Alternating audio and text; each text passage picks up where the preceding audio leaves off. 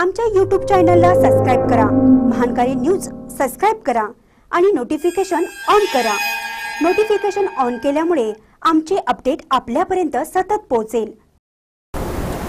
राष्ट्रवादीचे प्रदेशाध्यक्ष जयंत पाटील जयसिंगपुरात डॉक्टर राजेंद्र पाटील यड्रावकर यांच्या पाठीवर मारली थाप.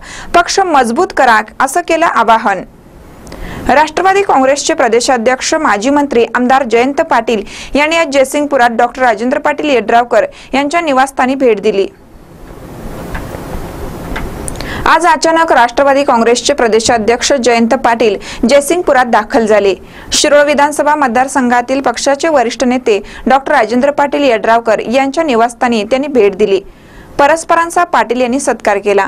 यावेळी शिरोळ तालुका पंचायत समितीच्या सभापती मीनाक्षी कुर्डे जिल्हा परिषद सदस्य परवीन पटेल युवकांचे तालुकाध्यक्ष अमोल शिंदे तालुकाध्यक्ष प्रकाश पाटील टाकोडेकर नेते संजय नांदणे संजय बोरगावे मनीर शेख राजेंद्र झेले आदी प्रमुख उपस्थित होते.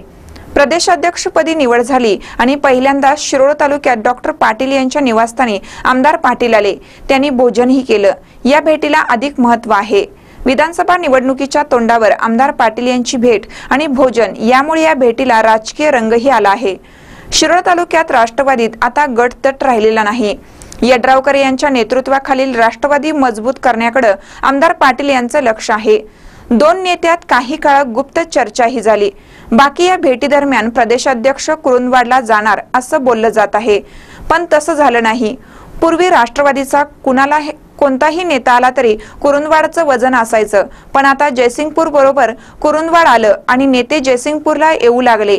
हे राष्ट्रवादीतलं परिवर्तन खूप दांडगं आहे असं मानावं लागेल.